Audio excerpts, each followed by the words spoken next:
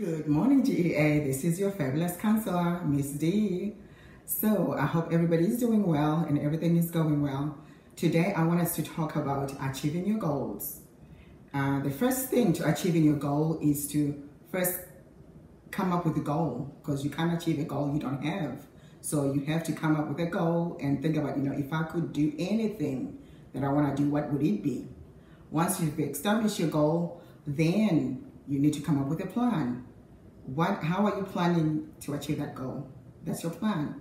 And once you get that plan, I need for you to think ahead that you know, this is my plan, but in order for me to achieve my goals, I might be faced with some obstacles along the way. How am I going to overcome those obstacles?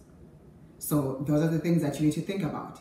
So your goal is big, but you're not going to try and tackle it all at once.